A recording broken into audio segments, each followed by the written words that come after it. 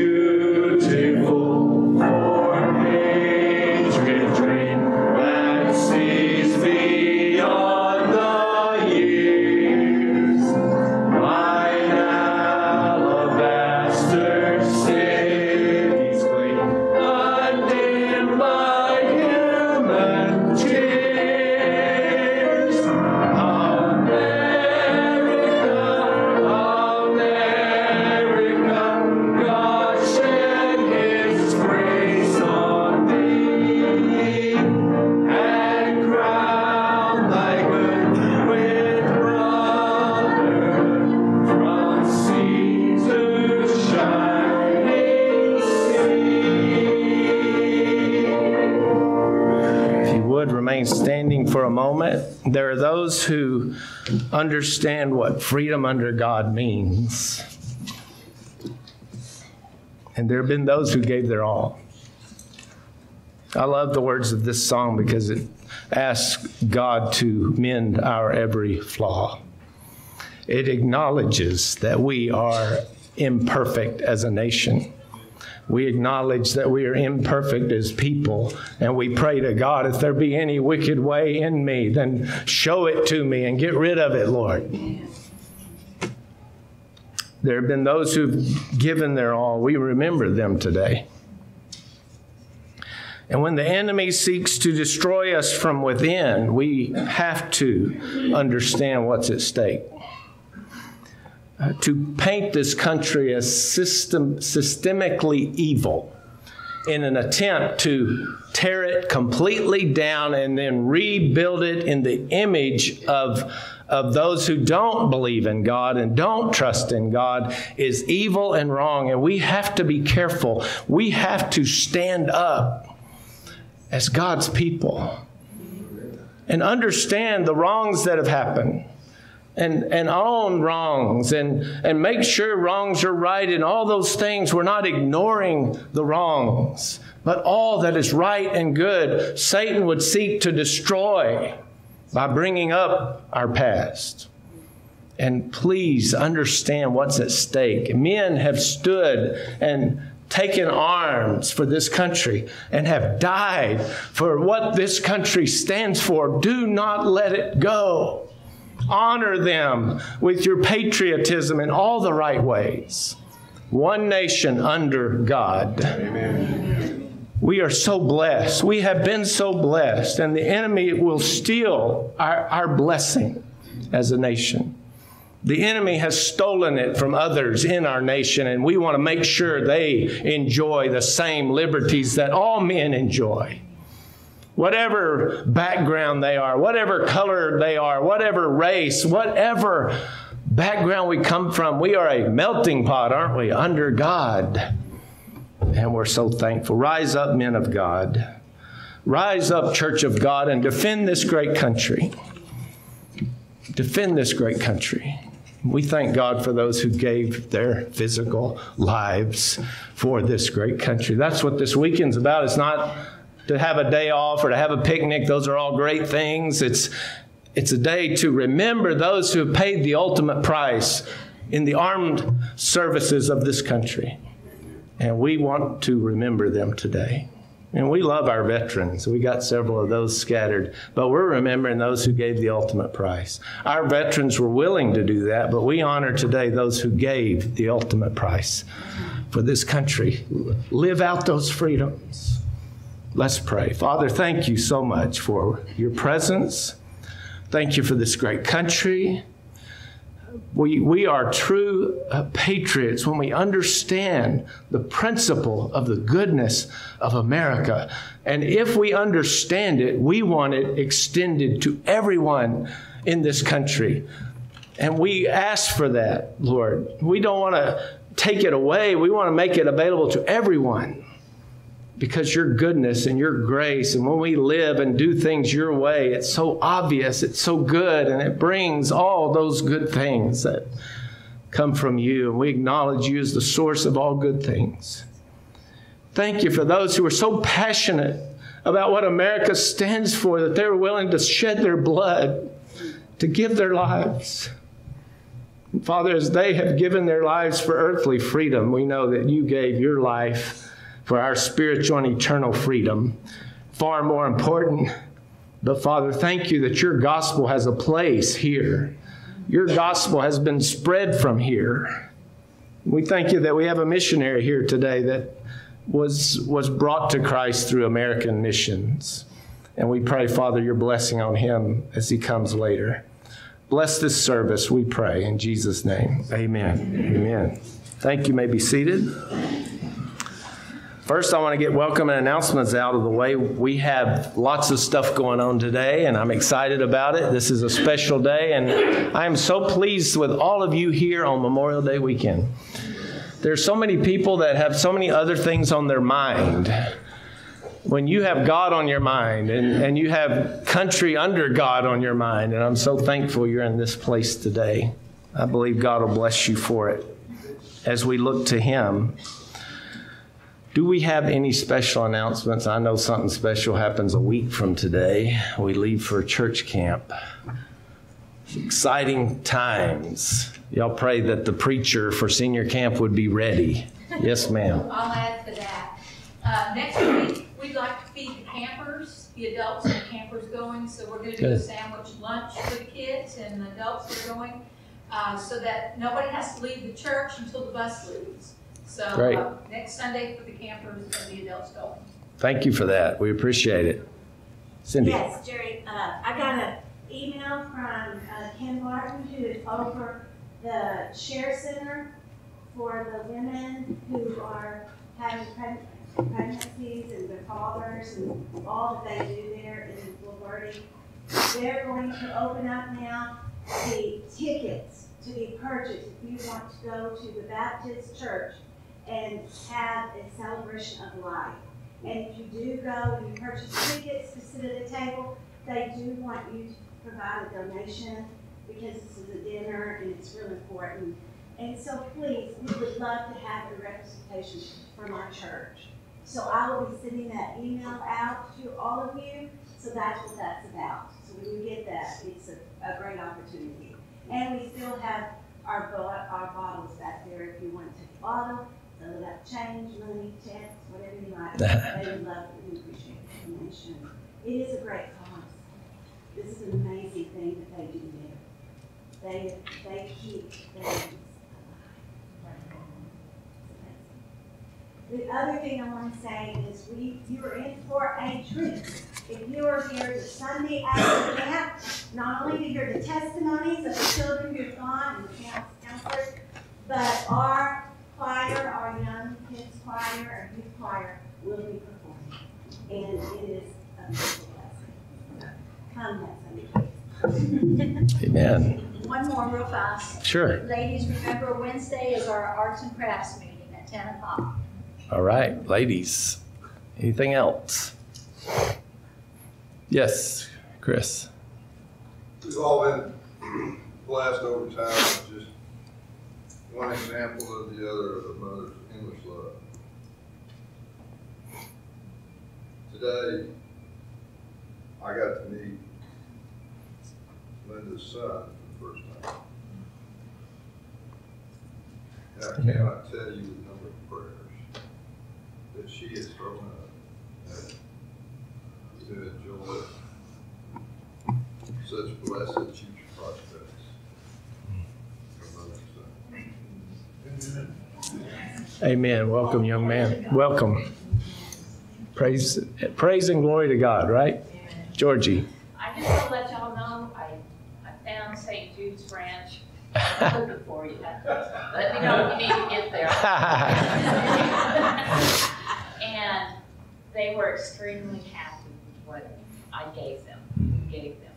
Mhm. Uh, They're not taking donations and clothing and everything, but uh, the beds in the bags, stuff like that. And I, anyways, I am, they asked me, and I'm thinking very seriously of maybe doing a class for the, for anybody interested out there on crocheting.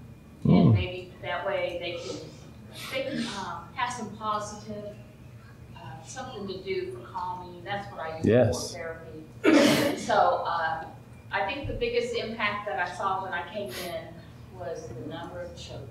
It was just amazing. Uh, I mean, each house had different sizes, and it was, so there's a lot going on there. So, uh, anyways, keep them in your prayers.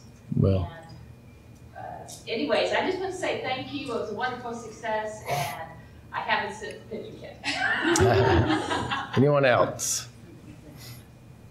Well, some of you know that I've struggled with uh, minor health things for about a month now, and, and Linda Bartle called me the other night and prayed with me and for me. I almost wanted to call her the next day because I was feeling so much better. And appreciate the prayers of God's people, and appreciate her calling me and giving me that support. God is good, and we're celebrating Him and giving Him glory today for all of His goodness. And then John David, in the middle, of, I don't know if it's the middle of the week, sometime during the week, I'm, I'm preparing for camp. I have a weekend revival in Port Neches. The Friday I preached, Saturday morning I taught. I met with uh, someone at the Dream Center in Beaumont. Uh, I met with a couple that was in crisis. And during this pr- week of preparation, he communicated with me and said, Hey, if you want me to preach on Sunday, that would take some of the pressure off of you. I'm ready to do it. And I said, John David, let me pray about it. But I didn't have to pray long. And God said, Take him up on that. and so I am so thankful for his support and uh, the way he holds my arms up. And it's uh, just the maturity and the, the depth that he has. And, and um, Azine, we just love y'all. And so I'm thankful for him today. Y'all know what happens? I'm this way anyway, but when I'm when I'm tired, the waterworks really turn on. So y'all have to pray for me because we got a lot of emotional, wonderful things going on. Do y'all have prayer needs? If anyone has a specific need, we're not going to ask you to say what it is, but would you stand? We're going to pray for you. We're going to publish your name in an email. All right. Let's let's pray. Father, thank you for these who are standing. They believe in you. They know you've said we have not because we ask not. We also know that we're not standing asking for our will uh, to have it used for our flesh. We're standing asking for your will, that it will be what's best for your kingdom, what you're teaching us, what you're bringing us through, how you're using everything. And Father, some are praying for somebody else. Some are praying for healing of themselves or a loved one. Some are under unusual stress and pressure. We, we pray for them. And Father, we know uh, David Mayers is going through something right now, but he's here. We're thankful for him. Uh, we are in our spirits laying hands on him today. And we just pray for all the needs, that your will be done. And we do. We bring you and give you what you so richly deserve all the honor and all the glory. In Jesus' name we pray. Amen. Amen. You may be seated. We're not going to sing yet. Not Kevin's turn yet. He's on pins and needles. He's wondering when it's when it's his time. It's soon. But I wanted to ask Zane if he would come up here, Zane Cowan, finish your coffee or whatever you're drinking. I guess I better come over here because some people are watching via Zoom, so we'll let them en- enjoy seeing Zane this morning. Yeah, we're very proud of him. I mentioned that this morning when we had some snacks in his honor. He's a graduating senior. He also, not too long ago, became an Eagle Scout. Some of us got to enjoy that with him. Uh, he's been accepted into college. Where are you going? Tarleton State. Tarleton State. He's going to Tarleton. And so he's got a lot of great things ahead of him. We are so proud of him, and he represents our church. I couldn't even talk to his dad today because he's got my same affliction. As he's seeing his son grow up and leave the nest, he's, uh, he said he's losing his best friend. I assured him he's not losing him, that he will be there. May not seem as much, but we're presenting him with this Bible from our church. And it says it's presented to Zane Cowan by Bethel Methodist Church of the Hill Country on May 30th, 2021. I got all that right, I hope. And then this is what I wrote. Two roads diverged in a wood, and, and I, I took the one less traveled by, and that has made all the difference. The words of Robert Frost in that famous poem are very true when applied to the narrow way of Holy Scripture. Take the path of God's Word. It leads to heaven through faith in Jesus Christ. Your church is praying for you, and we are very proud of you, Pastor Jerry. God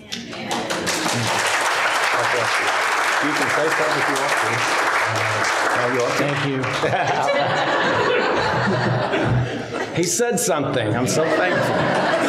I tell you, he could make a speech if he wants to, and uh, that was it. Thank you. I love it. Man, a few words, right to the point. Thank you, Zane.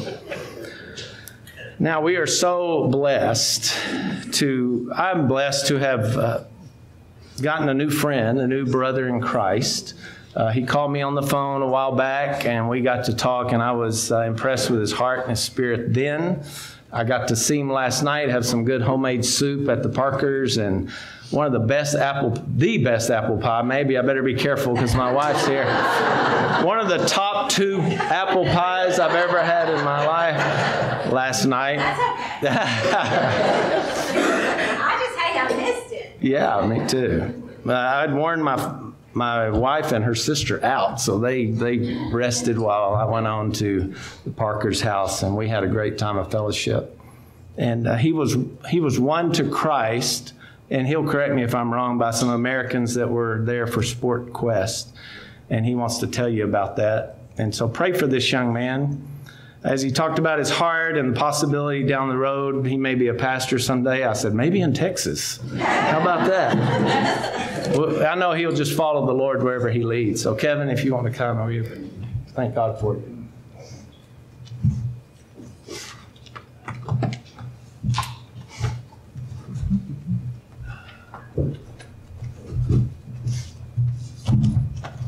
I have some stuff. I have some stuff, you know. Get ready. Good morning, everybody. First of all, thank you, Pastor Jerry. You know, you've been such an example of what, you know, what it looks like, you know, to be a brother. You know, just for me coming from a far far place to just to come to meet you on the phone or just meeting you and just taking the time after a long trip to come to us and okay we ate some soup and we ate some pie but still to, to take the time to you know just to, to come hear my heart and for me to experience your heart was very special. Um, also want to thank you so much for your warm, warm welcome. Um, I know Dwayne and Vicky, you know, they have experienced the same thing when they came here for the first time, just to experience the, the genuine welcome of a church family. And I've experienced that the same thing. I, I was just telling, you know, Papa, I was just telling him, like, I don't know what to do. I'm like, I'm just so overwhelmed by so many, you know, smiling faces and, you know, w- welcoming people. So I'm like, okay, uh, normally pretty introverted, you know, I'm trying to, you know, keep my distance, but I do have some really cool things to share with you. So I'm going to get this here going so I keep on track because I want to give John David a chance as well. Hello, I'm Kevin Verstraten. Um, I'm glad you didn't try that. That was that was tough, you know. It's, man, it's been butchered over many years. Um, it's all right. Um, 34 years old, um, born and raised in Belgium, Europe. Um, but I met my wife here in the States in Indianapolis. Her name is Jenny. She's momentarily with our lovely two young children in Florida with her parents and sisters it was just too much of a drive, too much of a trip to do all together. Um, they came up with with us to Indianapolis and then flew from there. And I took this extensive road trip, you know, from Indianapolis through Missouri, through Oklahoma and Kansas, and then finally come to Texas. And it's been absolutely a roller coaster, but man, God has been with me and He has shown up in so many different ways. Um, and I want to share you a, a, little bit of my story. But before I do that, I do want to congratulate you guys because you did it. Not just Zane, because he did something you know very significant as well, but you did it. Probably you have no idea what I'm talking about, right? Um, let me explain to you what I'm talking about. Um, I took a book. Who knows this book? Raise your hand, please. I see a lot of hands. Who does not know this book? Okay, you do not know this book. Come on. Okay, well, well, well I know, but Vivi behind her, like my own grandma. so this is Where's Waldo, and Where's Waldo is a really fun little thing that my brothers and I did when we was younger. So you basically find this guy. Waldo in like these maps. Like so you kind of go through a map and you have to find this little guy and you know on one of these pages. It's actually really fun. You know it's really cool to do. And you know my kids will enjoy it for many many years. But let me tell you um, you have found waldo. I might have had like the, I might have the different shirt on, the glasses. Like we didn't need a hat, but it, but I tried the, the, whole ensemble, but it just doesn't always work that quite way. But you did find Waldo, and let me explain to you what that means to me. So, um, just in reality, like like if you open one of these pages, like say this is like the beach page, you know, if you kind of count all the people, say if we get to like hundred people, there's only one Waldo, right? You have to find the one guy, and this is what it is for a person in Belgium to be a Christian. So at this moment, in reality, if you do like if you look at the surveys, one person in Belgium out of a hundred will tell you that they are a newborn believer in Christ. So in Belgium, you can rename Where's Waldo to Where's the Christian. We don't always wear this kind of outfit, but um, it will give you a better understanding of where my story is coming from. So, first of all, I was born and raised in a non Christian family, more nominally Catholic, you know, just like many people in our country. You know, we did have like the Catholic school and we did go to church on Easter and Christmas, more because we wanted to, you know, please the grandparents than just to get the gifts afterwards. You know, that's kind of what we did. Um, but I did come from a broken family. My mom and dad got divorced when I was six. And my mom took my two brothers and I, and we left um, that city and we moved to a different one. Living in a single family household was, you know, like we just didn't ever have much. You know we we always had to fight kind of for what we had. And for me it was really tough to find my identity in something i really wanted to do or what i had you know until I found basketball. Obviously, I'm a little taller, but I wasn't always this tall. But basketball, for me, gave me what I needed at that time. It gave me a feeling of identity, of passion, a purpose, a sense of belonging, and it filled the hole in my heart that I had at that time. I wanted to be good so bad that I would do anything, you know, to get better. Most of the camps that were in Belgium, you know, they cost a lot of money especially the ones with American coaches, because Americans just do this game the best. It's just what it is. You can be proud of that. Um, but in the summer that I, you know, I was 16 years old, my life completely changed because a friend that was on my basketball team invited me to a camp called Sport Quest. This was a free basketball camp in my own city, so I didn't have to travel, and it was ran by American student athletes. I'm like, no way you know like what, what's the deal? Like i pay hundreds and hundreds of dollars for these camps for one american coach and now you're telling me there's a free camp with dozens of them and he said yes just come and show up. So skeptically you know i, I joined and you know within the first five minutes i received you know like 10 high fives you know just it was amazing. From the moment i walked in here it was kind of the same feeling as what i did when i walked into camp when i was 16 kind of shy, like still kind of seeing who it all was, but just the warm enthusiasm and passion of these wonderful American athletes. It was amazing. But my um, my focus turned really quickly. So I was welcomed. Now I got to prove myself to these American athletes, right? You know, I really worked extremely hard and, you know, did my absolute best. And on the second day of camp, one of the leaders of the camp actually gave me an award. Like, um, so this guy was also from, from Texas. He was from Lubbock, Texas, and gave me one of his high school T-shirts as an award.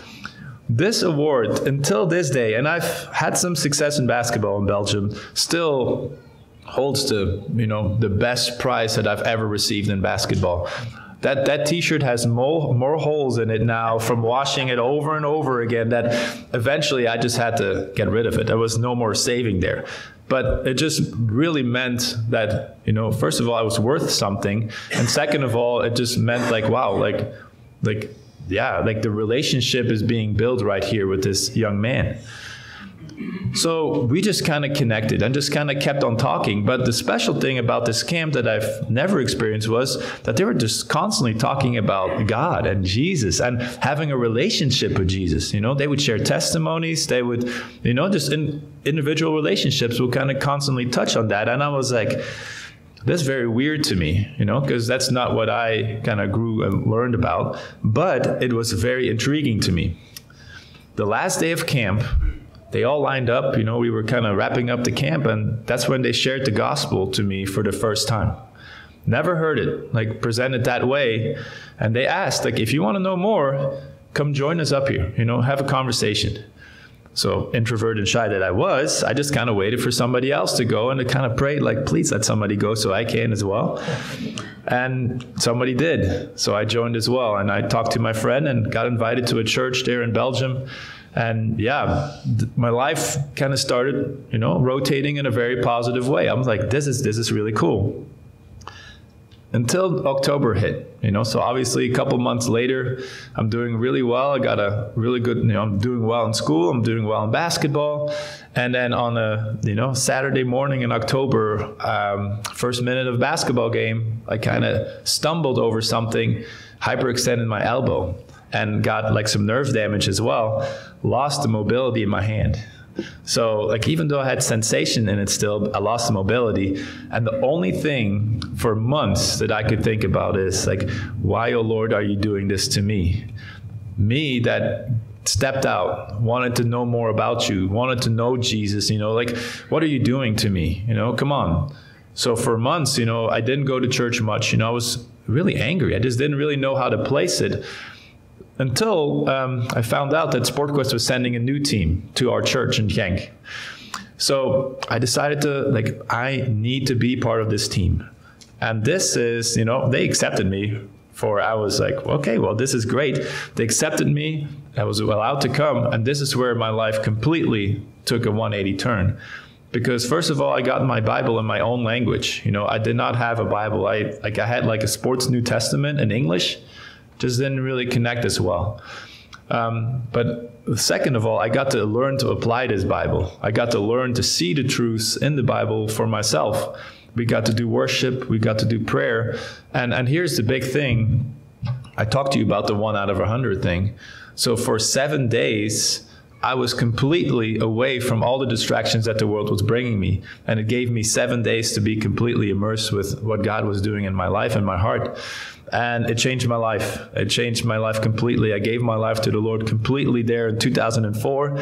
And everything really changed from there. You know, I started not just seeing his blessing, but I wanted to walk in his blessing. I wanted to follow him. I read my whole Bible, got baptized the next year, and every year I would go on these on these sports mission trips, right? So we would take basketball as a way to, you know, bring glory to Christ, you know, wanted to proclaim his gospel. And 2010, um, I got the opportunity to come here to the States. So SportQuest is an American organization. So they have their headquarters or had in Indianapolis, and I was offered an internship. So I prayed about it. I actually gave up my job that I was doing at the time in Belgium and got to go. I said like I'm going to take this. Originally for one year, I was going to be here for a year and then go back. Well, Lord had a different plan for me. I, um, I came on a Sunday night. The next Sunday morning, I met my wife. I was praying that week, like, Lord, don't bring a wife on my path. But he clearly had different ideas. I met Jenny, and not too much later, I met you guys as well. And it was just so special to be welcomed into this new family. We got married in February the next year, and we started our mission together, you know, as a couple. And um, started being a missionary in, in America, started raising support, started raising, you know, you know, whatever we needed to do. Um, I kind of felt like it was like a, a, commissioning time where I was learning and being mentored and being equipped to do this kind of work, you know, for a longer time. Um, in this time as well, I really grew passionate about becoming an American you know and this this yeah memorial day is something that you know i consider very dear to me because like i really wanted to become an american not just so i can move back to belgium without any conditions and stuff but i just really felt like you know this is my second home this is like where i belong and i do recognize that you know this is a country that god is still in the center so Belgium does allow dual citizenship, and it gave us the opportunity to, in 2016, move back to Belgium um, and to do you know gospel work right there. It's still a very difficult country, you know, very secular country, very socialistic country. So a lot of things are we have to you know you have to move an elephant sometimes to get things done. But you know it's just so amazed that the boy that came out of Belgium in 2010 was equipped, became a man, and now now is like giving back you know to the church to the local mission but also to the european mission and it's just so amazing now let me speak to you church. I might have come thousands of miles really. Like i'm probably the furthest away from everybody here. But um, the thing is our mission is the same. We are called to make disciples of all nations. So right here in Canyon Lake, you know, like Hills Country, you know, like first time for me to be here, but you know, this place is precious in the eyes of the Lord just as much as Belgium is. But there's still work to be done. I think, you know, this place can definitely add a lot of people, you know, we can do this. So let's just join together in this mission and let us every day put on the armor of God. Just kind of feels at that, you know, like where we stand together, you know, to, to fight the, the battle that we are in. But like, and we talked about and then Sunday school even, you know, a tribulation is still a tribulation, whether you're, you know, actually facing, you know, physically harm or otherwise, you know, it's just what it is. But the thing is, we are one strong family and we need to stand together. You know, whether I am in Belgium or here, you know, I feel that the sensation of family is still really, really evident. Second of all, I want to challenge you to pray for me, my family, my brothers and sisters in Christ, because the harvest field awaits us. It is amazing, but we just need more workers. You know, we need to be workers to be equipped. So for me, that is my prayer to you as well. I know you guys are doing a mighty work and the harvest fields awaits. We just got to keep keep the hand on the plow. And lastly, let me tell you that even though our mission sometimes feels too much to bear, we are already coming from a victorious spot. You know, the Lord has already won this battle. We are more than conquerors through him that who loved us. So hold tight to the Lord and don't let go because that is the only way we'll be victorious. So, church, you know, a special blessing to you this morning. I'm very excited what you have for us, John David. And like, I hope that you know we can find some time after church or something to talk a little bit more about Belgium and whatever we have. But I'm just so blessed to be here, and thank you so much for this morning. Yeah, thank you. Thank you, brother. And uh, always, um, I'm always amazed, I shouldn't be, that when I meet somebody who truly loves the Lord, he's family. Whether he's from Belgium or wherever they're from. And so we thank God for you. And, and I want us to have a special offering. We're going to do, I didn't warn the ushers, all the stuff I've had on my mind. We're going to take an offering for this ministry to support Kevin and what he's doing in sharing the gospel. Sport Quest, yes. If you want to write a check, would it be to Sport Quest? You want to text right now, for sure. Okay. And you can, you can always find me afterwards if there, I got some booklets and some cards as well to help people to understand it a little bit more. We're going to ask him to hang out wherever he finds the most comfortable place in the building. Uh, he's going to hang out, and y'all can ask him questions and talk to him more about this. Uh, but we want to ask the ushers to come. We're going to first take a mission offering. Now, if you planned on giving to the church today, I know Dennis and all the rest of us would say still do that. But we're asking for anything extra above and beyond that it be given to this ministry if you feel led to do that. And so we're going to pray and then we'll take a mission offering. Then we want you guys to come back after that and we're going to take our regular offering. Let's pray. Father, thank you for Kevin. Uh, I've known him only a short time, but I sense that family connection. And I pray that you would bless him. I thank you that he's interested in learning uh, from me. I'm interested in learning from him. And I pray that this relationship uh, that was obviously orchestrated by you uh, would be uh, fruitful in our lives, this church's life, the mission for your kingdom, most importantly. So bless those who give to this work. In Jesus' name we pray. Amen. Amen.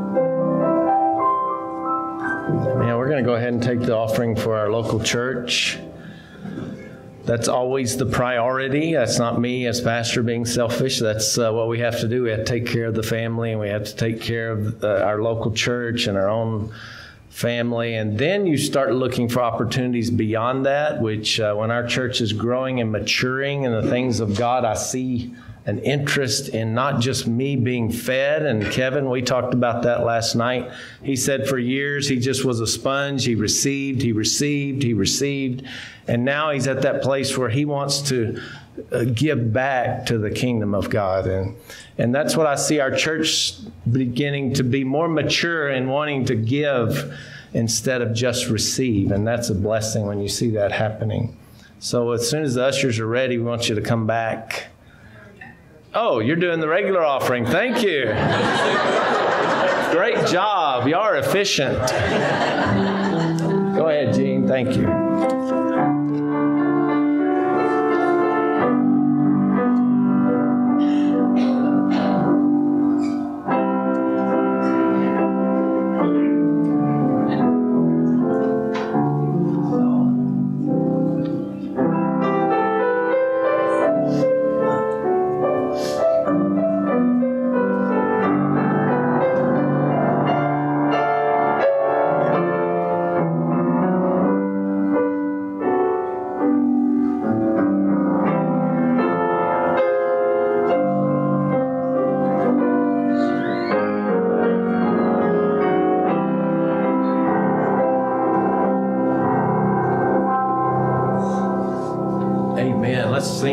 Doxology. Let's stand.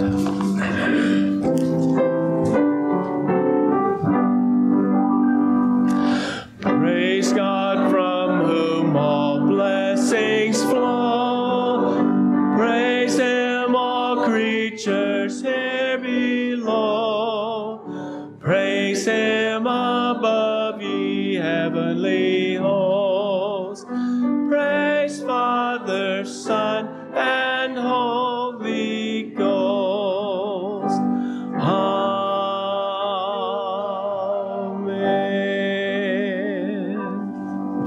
the choir, you may be seated. Thank you.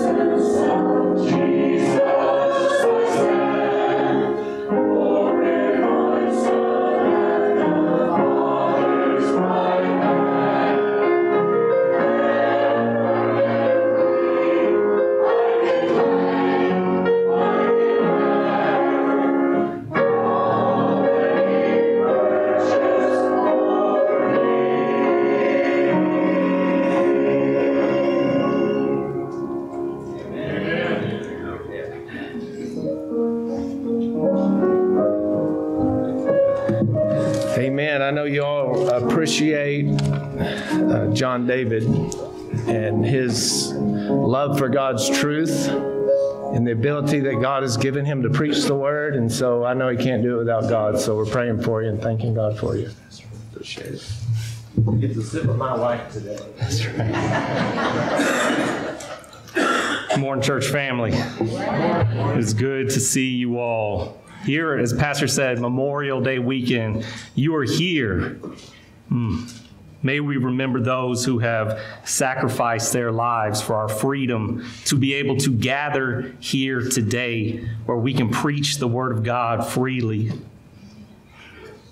And ultimately, remember Christ, the one who gave his life so that we can be here. This morning, as uh, me and my family were getting in the van, um, it's a it's a task now to, to herd all the kids and get them into the van. And uh, as we're getting in there to drive to church, Matilda says, "Daddy, are you preaching this morning?"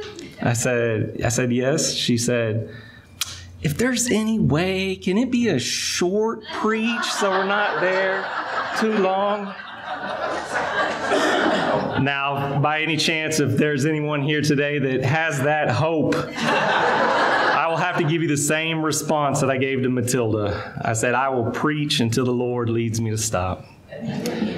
So if you brought your Bibles, let's go ahead and open up to the book of Exodus. Exodus chapter 17.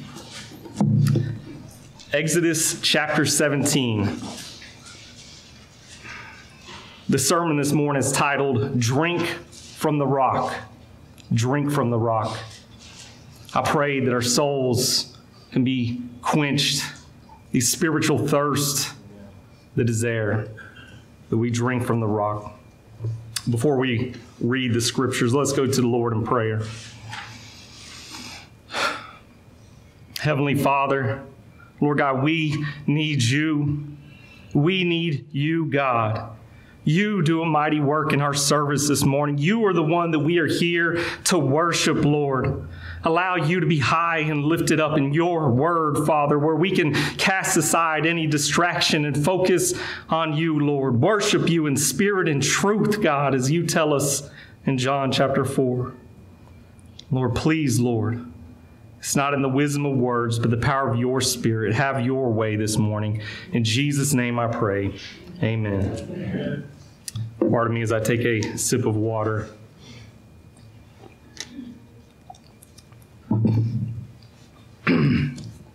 Exodus 17, beginning at verse 1.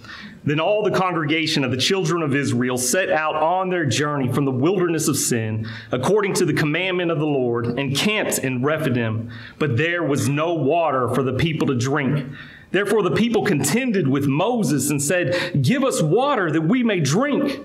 So Moses said to them, Why do you contend with me? Why do you tempt the Lord? And the people thirsted there for water, and the people complained against Moses and said, Why is it you have brought us up out of Egypt to kill us and our children and our livestock with thirst?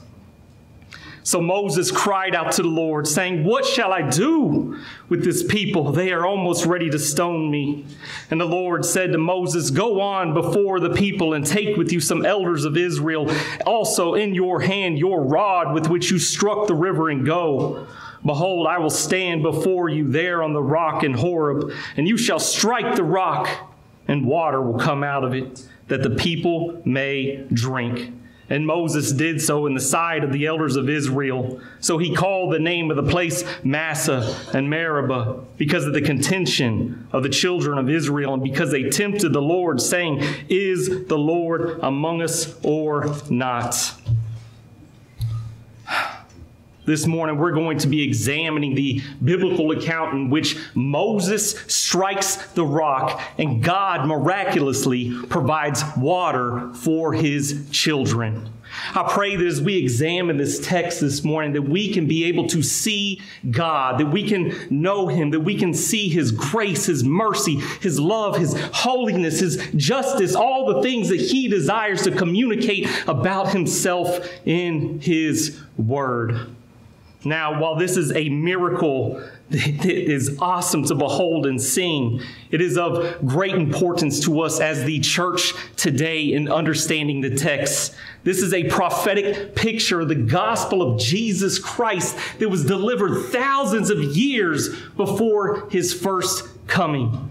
And I pray that we understand it as we see it and that we can rest in the message of the gospel that our Lord desires us to hear. Now, as we work our way through the text this morning, there are three main points that I want us to be able to see. For those of you who are note takers, point number one is the thirst. The thirst, or you can title that the need. The need. Point number two this morning is going to be the cry. The cry, or man's response. You can title that. And point number three, the stricken rock the stricken rock. God's provision. God's provision. Now, for anyone who is unfamiliar with the book of Exodus, the title Exodus literally means mass departure. Mass departure. And this book encapsulates the story of the mass departure of God's people in bondage and slavery in Egypt to bring them into the wilderness where they will begin their journey toward the promised land, where God would form them as a nation and eventually bring about the Savior of the world, our Lord and Savior, Jesus Christ, to open the way of salvation for all. And in this book, there are many miracles that our Lord shows us inside of here. We see early on the 10 plagues that God brought on Egypt. We also see the parting of the Red Sea. We even see in the previous chapter 2 this manna from heaven, God giving bread, God feeding his people in the wilderness when there was no food around them for their survival. And as we come to chapter 17, we see this miracle of Moses striking the rock and God providing water for his people. Now, please understand this before we advance in the scriptures. When God does miracles in the Bible, He does not just do miracles for the sake of doing miracles. He always does miracles for the sake of communicating truth about who He is and what He is doing for all eternity. And He desires us to be able to see those truths. And we see that here in this scripture this morning. Allow us to go ahead and proceed into verse 1.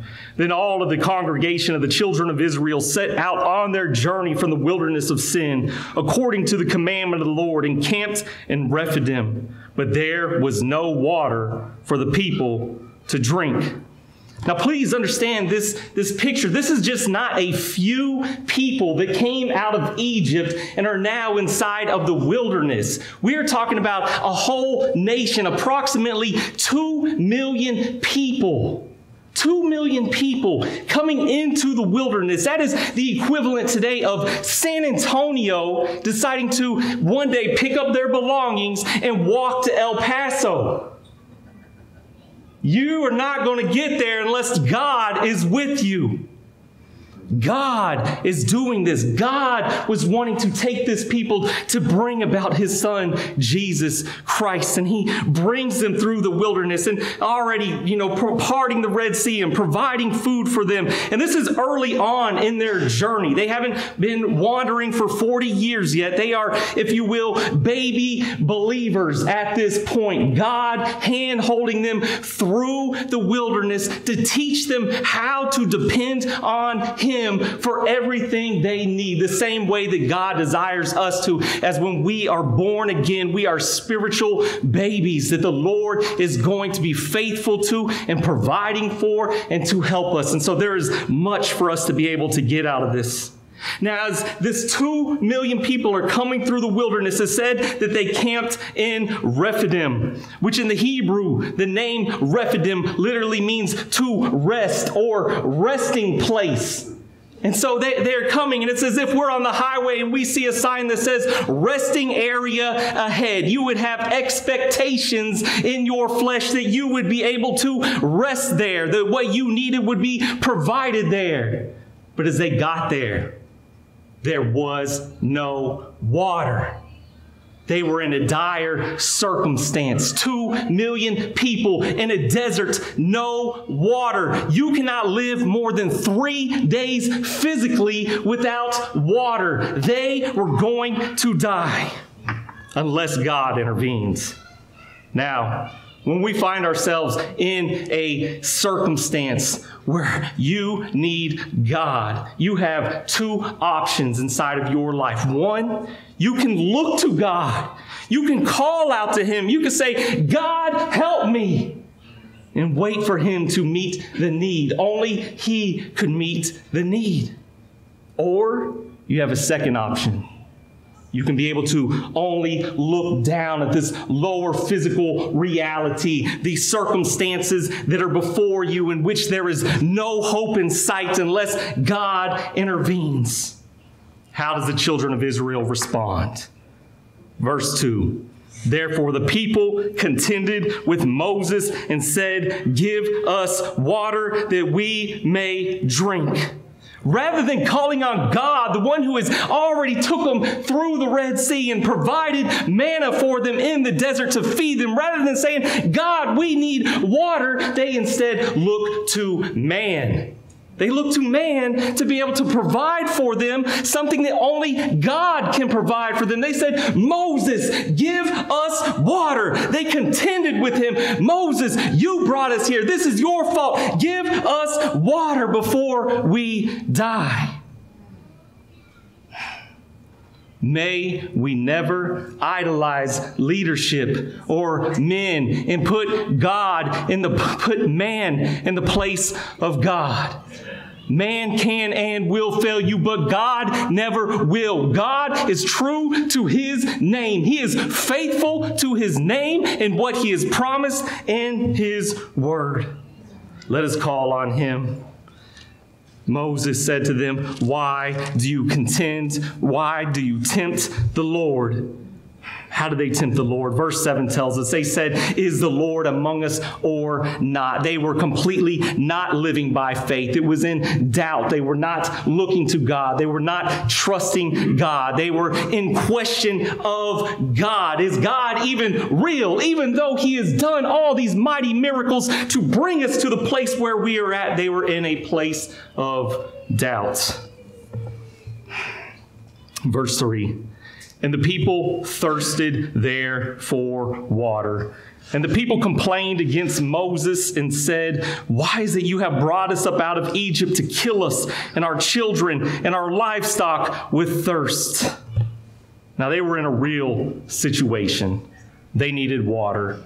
You know, I, I, don't think from a physical circumstance their reaction is something that we should criticize the Israelites over. Yes, they needed to respond by faith, but we have never been inside of these types of circumstances. And especially as new believers at this point, it was very serious. And they complained. They would have rather been back in bondage in Egypt where they were at least alive or at least they thought they were alive, rather than being in their current circumstance. Which just brings me to my first point the thirst, the thirst, the need. We must understand that God, this is a fundamental physical truth. God designed man to have physical thirst. It is the way He designed your body. It is your body's reaction saying, I need something. I need this water that is going to keep me alive. Again, you cannot live more than three days without water. You need to be hydrated. Dehydration will kill you. It is a physical need for life. And God gave us a gift of thirst to let us know you're thirsty. Where I, right now, my mouth is parched, so I can swish it around and take a sip. Thank God for that. But we don't just stop at the physical reality. God gave us this physical reality to communicate a spiritual truth. There is a spiritual thirst that He has given to all mankind. All of us. You see, God created your heart, your spirit. He created you in the image of God to be able to have a relationship with Him, to where His Holy Spirit can dwell inside of your spirit and you have life inside of Him going back to the garden and Adam, when Adam sinned and the Holy Spirit departed from man, man's heart now in a state of sin is in great desperation to try to fill it with all sorts of other things to try to satisfy that spiritual thirst that man, that God has given to man, but yet they cannot unless they are restored to a right relationship with God, where that Holy Spirit can come back inside of them and give them what they need. Our Lord Jesus in, in the Gospel of John, chapter 4, when he is talking to the woman by the well, as she is coming to work her daily routine of getting water out of this well, Jesus says to her, Of this water, this physical water, you will thirst again. But of the water that I shall give you, you will never thirst, he said. This will be inside of you as a well springing up into everlasting life. It will be an ongoing source that will always satisfy as long as you are abiding in Christ in your relationship with him. He says, You will never thirst. Can you spiritually thirst again? If you are not abiding in Christ, you are not connected to the source of life, and that spiritual thirst will come back. I pray that if we are thirsty, we will drink this morning from the spiritual source God desires to give to us. Verse 4. So Moses cried out to the Lord, saying, What shall I do? What shall I do with this people? They are almost ready to stone me. Now, before we move on to seeing how God provides, to see his provision through the stricken rock, I do not want us to just move over this. We need to stop, which brings me to the second point the cry. Moses cried out to the Lord. It is true. God desires to meet the needs of the cries of his children. It is the same way I thank God that God has given my son Obadiah, not even one years old yet, the ability to cry out when he is hungry. So that I, his father, can come and meet the need the same way my heavenly father seeks to meet the need inside of my life. May we cry out to the Lord. God desires his people to pray. God desires his people to call out to him. He has designed it to be a relationship. We are not a bunch of puppets that he is just moving little chess pieces. Yes, he is active in the work of his church, but he desires your mind. He desires your heart to willingly come to him and call out to him. And in this situation, Moses cried out to the Lord. Now, yes, this was a life threatening situation in which Moses was fearing fearing for his life, that he was going to be stoned by these people in a mob like mentality because of their current circumstances. It was a real danger that Moses faced, but yet he cried out to the Lord. Our Lord tells us in 1 Peter chapter 5 verse 7, cast your cares upon him for he cares for you.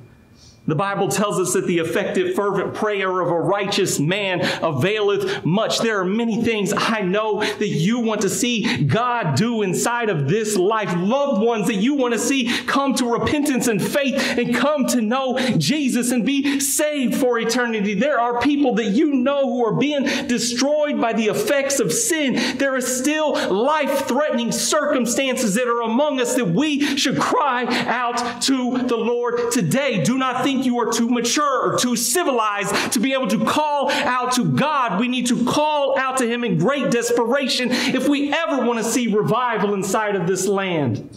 May we be like Hannah in 1 Samuel chapter 1 as she was struggling with barrenness of the womb that the Bible says that she prayed and the Bible says that she poured out her soul. May that be our heart that we can come to Him. Moses cried out to the Lord. Now, let us see how God met the need. Verse 5 And the Lord said to Moses, now, stop there. One, one thing I just want to back up and say. In Moses' cry, he said, What shall I do? What shall I do? He was looking for wisdom. Anytime you cry out to the Lord and you are looking to God, what do I do? Remember, the Bible promises in James chapter 1 that any of you who lacks wisdom, ask and it will be given to you. God desires to show his will for your life and for us to be able to respond for it. We have not because we ask not. Let us call on him. And Moses called on him. And so God was faithful and starts to give Moses instruction. He says, Go on before the people and take with you some of the elders of Israel. Also take in your hand your rod with which you struck the river and go. Please note that as God told Moses to go, to take some of the elders with him. God desires us to never go alone. He desires us to have genuine Christian fellowship, camaraderie, as we are being able to seek first the kingdom of God and serve Him. He desires us to be connected to others. He sent out His disciples two by two. Do not think you were called to go alone. God told Moses, Take some of the elders with you and now go. Take your rod in your hand, the rod in which you struck the river, and go. Now, before we see what Moses does with striking the rock, I want us to pause on the rod for a moment because this is very important in the picture for us to be able to understand the gospel of Jesus Christ as it is communicated in the Old Testament here.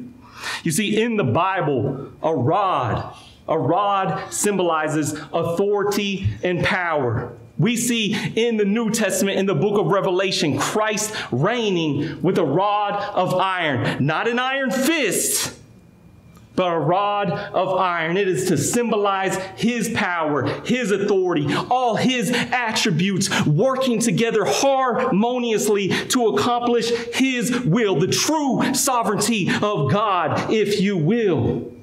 Not a false one that paints the picture like an iron fist but a rod of iron.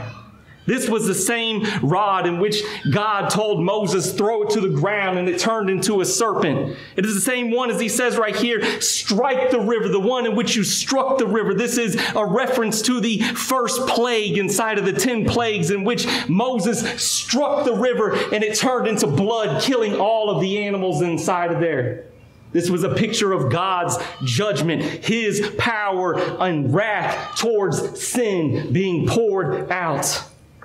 This rod is the same rod in which is called the rod of God later, and there are multiple other things in which God does with this rod with Moses, but it is a symbol. This is not a magic stick that Moses has. He's not going it around to be able to wield for himself whatever he wants. God forbid that we take the things of God and turn it into something for us. It is for him to be glorified. And that was his intention with this rod that he used to always symbolize God at work with them. And we should take comfort in it. As Psalm 23 says, as we walk through the valley of the shadow of death, we will fear no evil, for your rod and your staff, they comfort me. I can take comfort in knowing that I am trusting in the one who upholds the entire universe. May you do the same. Take your rod and go, he tells Moses. Verse 6 Behold, I will stand before you there on the rock in Horeb, and you shall strike the rock, and water will come out of it, that the people may drink. And Moses did so in the sight of the elders of Israel. So we have Moses being instructed by God to go and take your rod and strike this water, that water may come out and the people may drink. Now, this is a miracle. We are talking about two million people who need enough water to live in a wilderness where there is no water. Only God can be able to meet this need. Let us just take that in, seeing God's power at work to meet the needs of his children. But let us move past that. Let us see deeper. What is God wanting to show about himself? We see the gospel of Jesus Christ here. I pray that we see it while we've already communicated the rod. This is the Father and His power and His authority and what He is desiring. He is telling Moses, strike the rock. Now, please understand the rock. What does it symbolize? It symbolizes Christ, Jesus Christ Himself. Inside of 1 Corinthians chapter 10, verse 4, it said they all drank of the spiritual drink of the rock. And he says specifically that rock was Christ. This isn't something John David is just making up out of the scriptures right here. This is something the Bible corroborates for itself, saying that the rock was Christ. And God the Father instructed him to strike the rock, that the water may come flowing out of it, that the people may drink. The water symbolizes the Holy Spirit. In the Gospel of John, chapter 7, our Lord tells us, He said, If anyone thirsts, come to me and I will give you a drink. If you have believed on me, as the scriptures have said, out of your heart will flow rivers of living water. And it says, And Jesus said this concerning the Holy Spirit. We see the triune God, the Father, Son, and the Holy Spirit at work to be able to provide the needs for His children, to give them life. That is the heart of God as He has created you for the purpose to be able to have a love relationship with Him. But yet, sin stands in the way. Sin must be judged in order that you can be able to come and drink from the rock. Jesus was struck by the Father. If you will, hold your place right there. We're going to come right back to close out of verse 7, but I want us to turn over to Isaiah 53 real quick. Isaiah 53, verses 4 and 6. I'll give you a moment to get there. And as you're turning there, the prophet Isaiah is a prophet that was sent to Judah and Jerusalem in a time of great backsliding to preach to them the judgment for sin, much like what we see in America today. We need prophets to rise up and preach the word to people that they may repent. In the second half of the book of Isaiah, we have much more prophecies of hope than of just judgment. And in Isaiah 53, we have a prophecy in which is Christ himself in his first coming. This is given 700 years before Christ came. Verse 4 Surely he has borne our griefs and carried our sorrows. Nobody knows your pain and what you are going through in this life more than Jesus. He who knew no sin became sin on the cross. Any type of affliction, he has tasted it and he knows. He is someone who cares for you and he does not hold it lightly. Yet we esteemed him stricken, smitten by God, and afflicted. He was smitten by God. Says, Yet we esteemed him stricken. That means we handed him over to be smitten by God. Now, please note this word smitten in the Hebrew here is the word nakah. Nakah. It is the same word used in Exodus 17 where Moses is instructed to strike the rock. It is the word meaning to strike, to kill, to slay, to strike with the intention to kill. When we go back to Exodus 17, Moses instructed to strike the rock was not come over there and just tap the rock and water came. It is not tap water. No, he struck the rock with the intention to kill. In the same way, the Heavenly Father struck his only begotten Son, who paid his life so that we can be saved. Verse 5 But he was wounded for our transgressions, he was bruised for our iniquities. The chastisement for our peace was upon him for our peace with him. He endured all of this, and by his stripes we are healed. We are restored to a relationship with God where his Holy Spirit is in us, and we are right and holy in his eyes, again in abiding relationship. Verse 6 All we like sheep have gone astray. We have turned everyone to his own way. There was no other person to be able to come but Christ. He came as a real man to pay the price for our sin, and the Lord has laid on him the iniquity of us all. Everyone in this room is guilty. The iniquity of us all. God the Father took out his wrath for sin on his son. He laid on him the iniquity of us all, not just a select few people, but the sins of the entire world. That if we come to repentance and faith through who he is and what he has done on this cross, we may be forgiven and restored to a right relationship with him, able to drink of the water that he desires to give you to satisfy your soul, to quench the spiritual thirst that your heart was created for. Do not be deceived in this world thinking there is anything out there that will satisfy. Only drinking from the rock, drinking from Christ, will you be satisfied.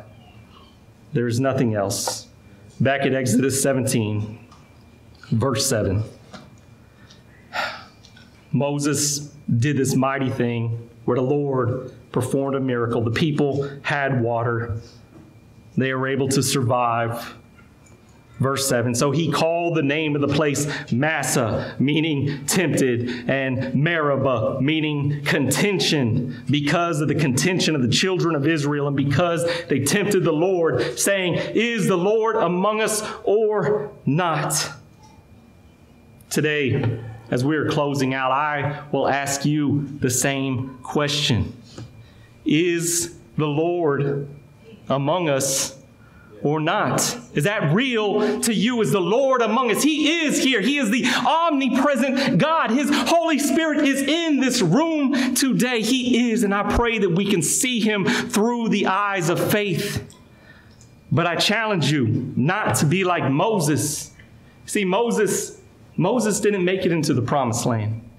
In Numbers chapter 20, there's a second encounter which Moses is instructed to go to the rock to get water, but this time to speak to the rock rather than striking the rock. And there's a whole nother message in there that uh, the Lord is teaching me that I would, Lord willing, like to share one day.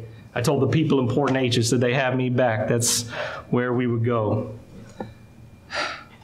Moses did not make it. Moses did not. He had great issues with the people because of the contention and temptation and this situation. He, it says, he named the place, not God. He named the place contention and temptation. This is what he recorded in this event. Rather than seeing what God had done and giving him glory to the original name of the place, which is Rephidim, to rest. We cannot allow a root of bitterness to swell up inside of our hearts just because of things that we may encounter with our brothers and sisters in Christ. God does not desire that. He desires Rephidim for you. He desires you to be able to drink from the rock and be satisfied where all of that can be washed away and we be with Him forever and eternity. Let's go ahead and sing our invitational hymn this morning. I invite you to come to this altar and pray if there is anything that you would like to pray about. Anything. Whether or not you have never tasted of this rock and would like to call out to God, I will call out to God with you. If you need to pray about anything in your life and you would like to just be left alone, I will leave you alone as well. This altar is open.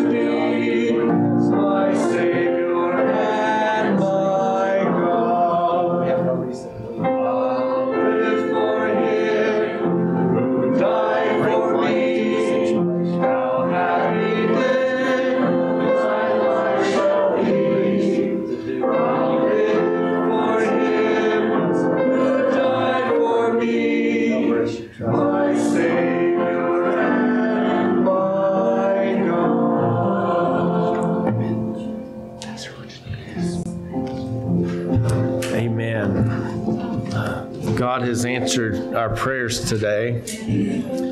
And uh, I know my prayers same as John David let me decrease and let him increase. I know that's Kevin's. He's got a big nod going yes too. So remember, Kevin's going to be here and visit with him if you if you want to.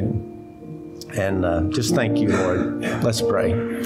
Father, thank you for John David, the instrument that he is for you. And uh, as our true attitude is for us to decrease, then you do increase. And I thank you for that today. Thank you for uh, John David's humility and willingness to be used of you. I just rejoice in that. Just thank you that he's yours. Thank you for the message that you brought through him. Thank you for the blessing it was to me. Uh, thank you for the blessing that it was for your heart, more importantly. And we just thank you for this time together. It's been precious. We pray that it, what has transpired here by your Holy Spirit, would permeate our weekend as we celebrate. May we not indulge the flesh. May we look to you and give you thanks and praise for all the blessings, including the good food and the family and whatever we're going to be doing. We thank you that you satisfy and that you have given us this great land. And we think of those who have made it possible by giving their lives. But more importantly, we thank you for Jesus who gave his life voluntarily. Father, he became all that you needed him to be. And then you struck the rock. May we speak to the rock. May we receive it, Lord. In Jesus' name we pray. Amen. Amen.